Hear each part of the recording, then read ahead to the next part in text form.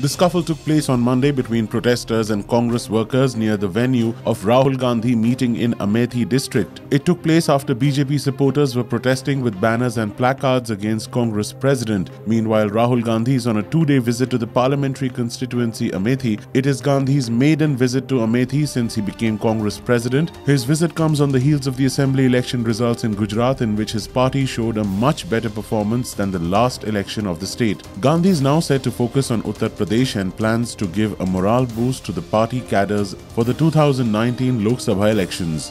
Well, that's about it. This is me, Ashish David, signing off. I'll see you in the next video.